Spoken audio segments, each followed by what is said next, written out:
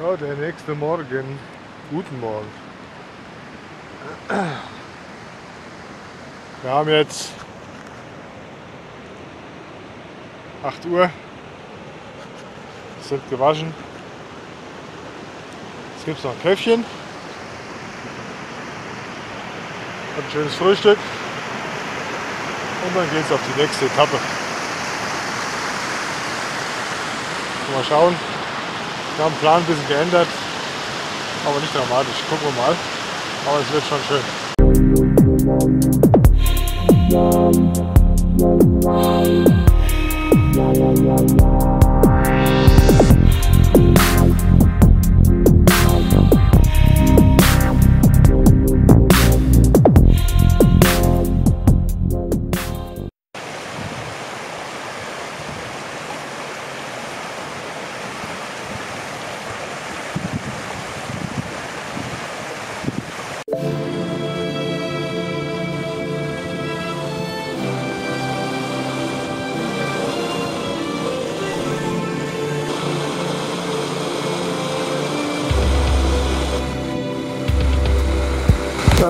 Noch.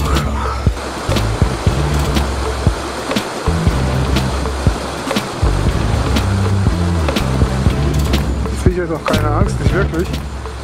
Na gut, hier oben laufen nicht so viele Leute rum. Meistens nicht.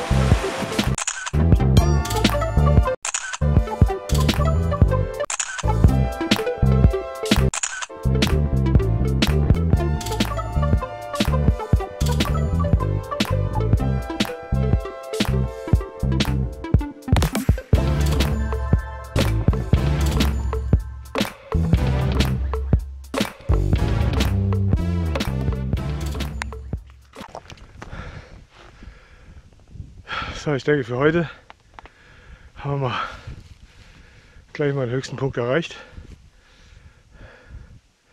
Schöner Blick über die Berge. Sieht ein bisschen nach Regen aus, haben sie auch gemeldet. 14, 15 Uhr. Gucken, wir sind, damit wir Zelt aufschlagen können. Blick zurück. Ja. Schön. Wunderbar. Hier geht wieder ein bisschen Wind hier oben.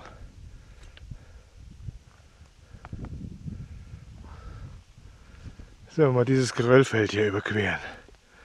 Vorsichtig sein, kann man schnell mal hinfallen. Weil der Rucksack zieht. Sobald du ein bisschen Gewicht in eine Richtung hast, dann zieht er. Okay, wir sehen uns später. Und sind auch schön bunt, alles bewachsen mit Moosen, Flechten.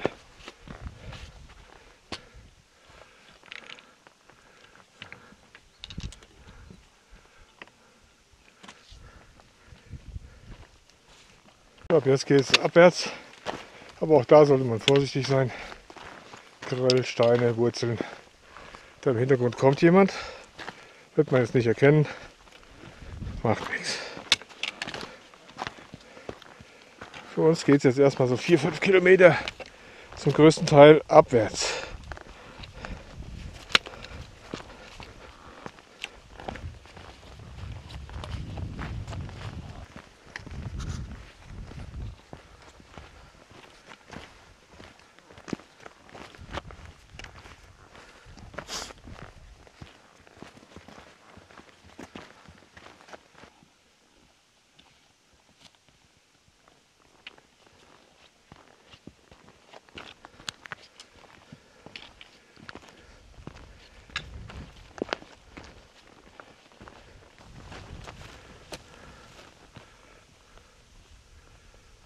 Ist doch schöne Anblicke, oder?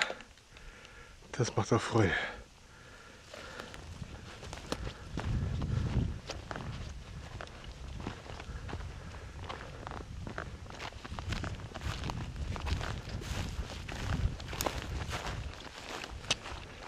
Tja, da liegt auch überall noch Schnee da hinten. Nicht zu wenig. So, hier geht es jetzt runter. Ordentlich abwärts.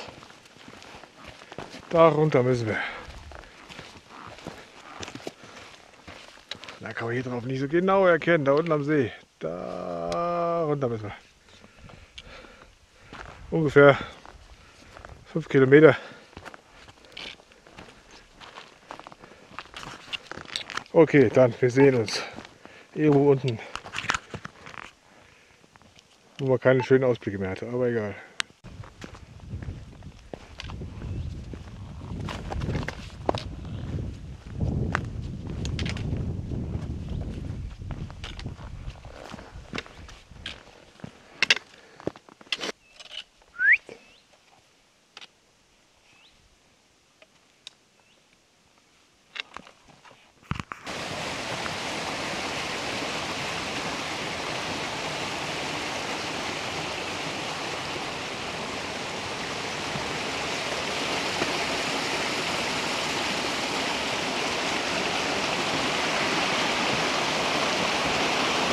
Bisschen flaches Geländer hier.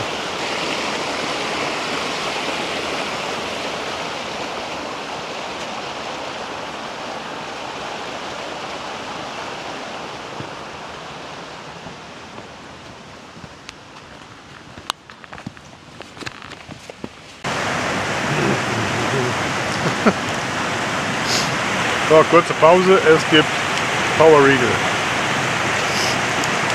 Sind so zwei Stunden unterwegs. Fast nur bergab. Hier gibt es noch mal ein bisschen Wasser und Mücken auch.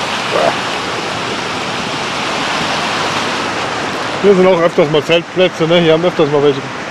Da ist auch einer zwischen. Da hinten sind welche. Auch so ein abenteuerliches Zügchen hier.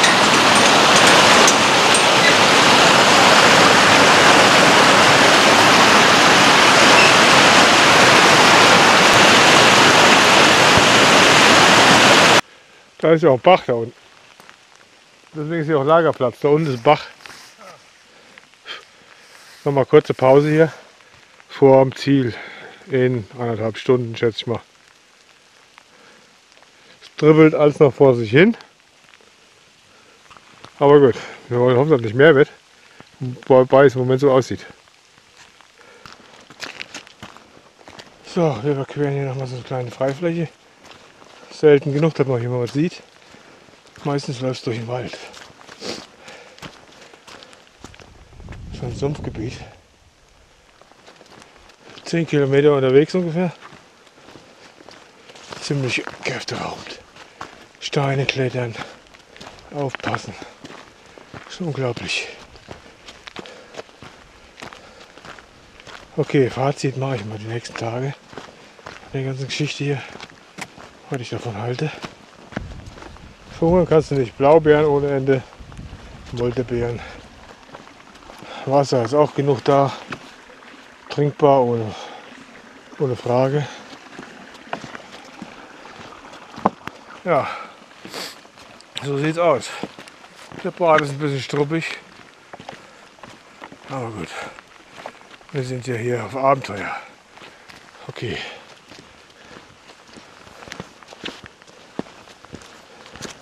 Wir sehen uns später. Ja, Freunde, guckt euch die Sauerei an. Es schüttet und schüttet. Wir sitzen gerade unterm Tarp und versuchen zu kochen. Heute gibt es Track and Eat. Wir haben keine Lust zu spülen. Einfach Tüte auf, Wasser drauf, umrühren, zwei Minuten Fertig. Hat uns doch noch mal erwischt, kurz vor Schluss. So ein Scheiß. Sind recht nass geworden. Aber gut, dann müssen wir durch. Bis später. Ich filme mal aus dem Zelt raus. Wir haben jetzt Blick, ich muss mal auf die Uhr gucken. Viertel nach neun. Es schifft ohne Ende, sage ich euch. Seit halb sechs liegen wir im Zelt, haben wir was gegessen. Da drüben, wo ihr jetzt hinguckt, gekocht. Da ist jetzt gerade meine Tochter schon mal rausspaziert, da war alles voller Wasser. Und mein Schlafsack in Gefahr. Und hat mal eine kleine Dusche genommen. Wobei es hat gerade ein bisschen nachgelassen jetzt. Minimal. Und es hat echt geschifft wie Sau. Schön ist ja, wir sind ja nördlich des Polarkreises. In, ja, ich sag mal, eine Stunde knapp geht eigentlich die Sonne unter. Gut, heute ist eh dunkel durch den Regen. Aber dann dämmert und dämmert und dämmert bis um zwei. Oder sagen wir bis um halb, halb zwei. Und dann geht die Sonne auf. Und gut ist hier die Stelle, die wir uns hier ausgesucht haben, der Boden. Nimmt scheinbar die Feuchtigkeit ganz gut auf. Und wird nicht unter unser Zelt geleitet. Weil wenn man guckt, es fällt hier runter. Uh, ganz gefährlich. So, das war genug gequatscht.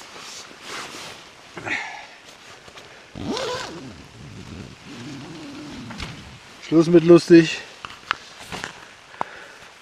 Wir legen uns ein bisschen hin, was soll man sonst machen? Weil dummerweise kann man nicht mal Karten spielen, nicht würfeln.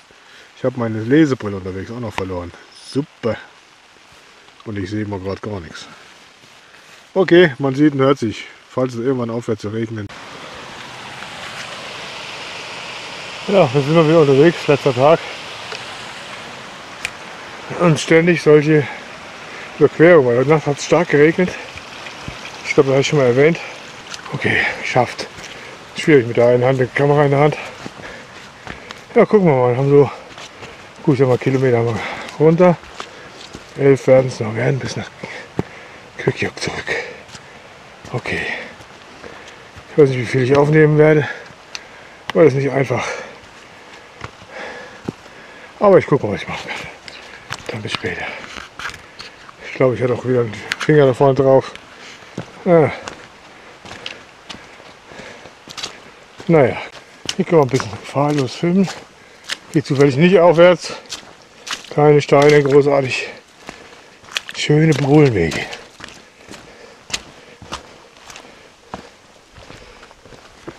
Und öfters mal in Pflückhöhe. Blaubeer, lecker. Immer schön zwischendurch. Das passt. Ja. Also unterwegs, letzter Tag. Ne? Ich hatte es vorhin schon mal gesagt, glaube ich. Wir noch mal ein bisschen einquälen. Obwohl, es wird funktionieren. Ist gar nicht so dramatisch, glaube ich.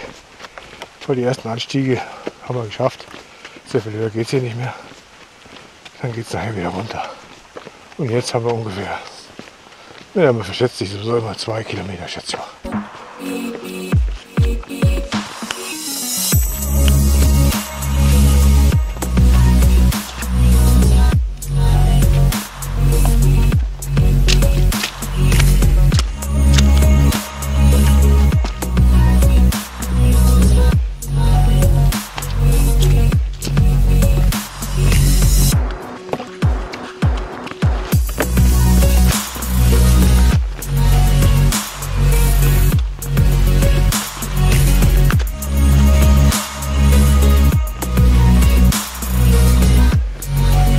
Hier kann man laufen.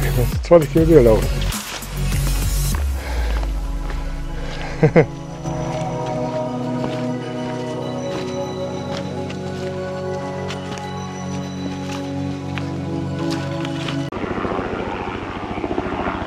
Was ihr aber gleich sehen könnt, hören, könnt ihr das bestimmt. Mit den Hubschrauber kannst du Rundflüge machen, wenn du willst. Oder dich auch in die Wildnis absetzen lassen, zum Fischen, zum Wandern, wie auch immer. Station ist in Quickjok.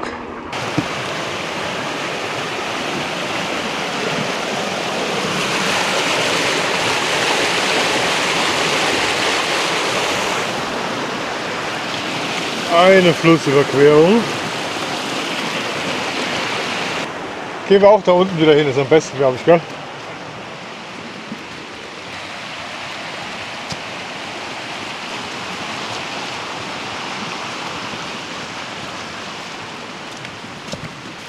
Oh, Viertelstündchen.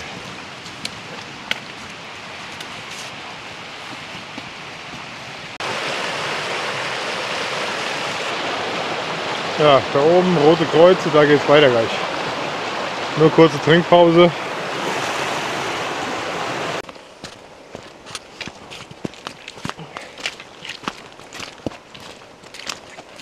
So, wir nähern uns dem heutigen Ziel so langsam. Und der Endstation. Dann machen wir uns mal Tag gemütlich und dann geht's weiter. Gucken wir mal. Nachher, wir haben es geschafft. Sehr schön. Super, wir sind wieder beim Auto.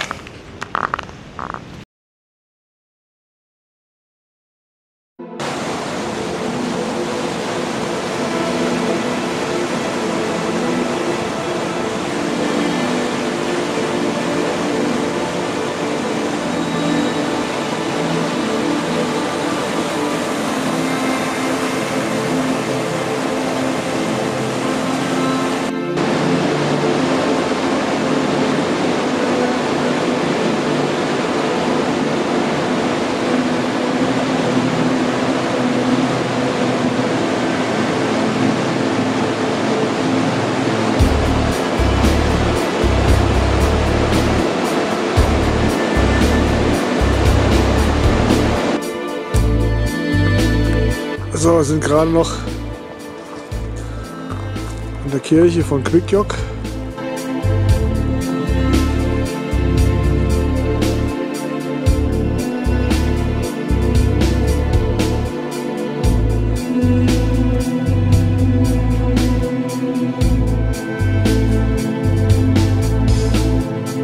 Ja, okay, haben wir die auch mal gesehen? Weiter geht's.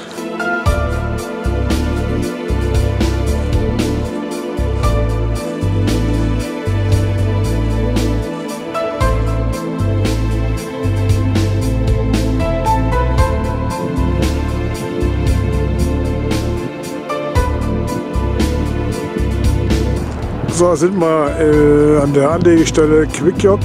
Von hier aus legen die Bötchen ab. Auf die andere Seite des Sees zum Weiterwandern des Kungsläden. Und so mehr in die Richtung kommt dann der Pratjelanter Läden. Da kann man sich auch hinfahren lassen. Aber sieht doch gut aus.